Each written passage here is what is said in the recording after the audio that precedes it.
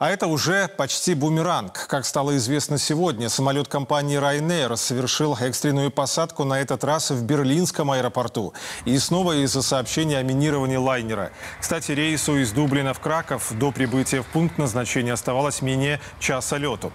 Однако экипаж принял решение садиться в Берлине. Сообщается, что взрывчатых веществ на борту не обнаружили.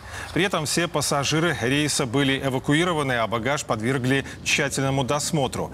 Власти теперь выясняют, от кого поступила ложная информация о минировании. И возникает вопрос, а последуют ли санкции от мирового сообщества? Наверное, теперь самолеты будут летать в обход Германии.